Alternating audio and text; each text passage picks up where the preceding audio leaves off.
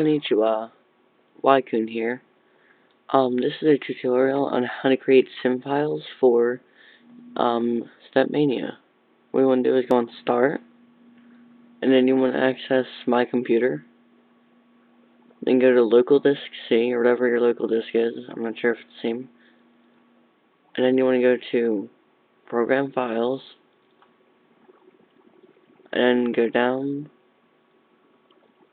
and uh, look for one that says Stepmania.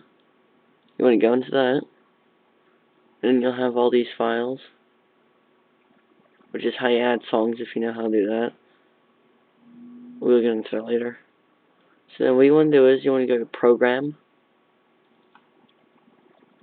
and then you should have all these little DLL files, and then this VDI, and then Stepmania itself, and then this.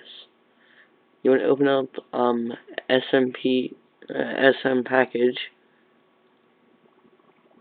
and you get something that looks like this.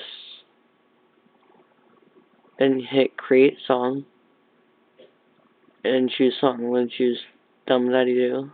I don't know if that's correct pronunciation. And say okay. Then this will come up. And okay.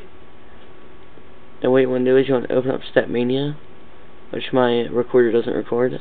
And then uh, what happens is you you go down to edit sync files and you find the file in a folder or whatever and then uh, you create it and yeah it pretty much does it all. Shouldn't be that hard. I hope this tutorial was good for you and goodbye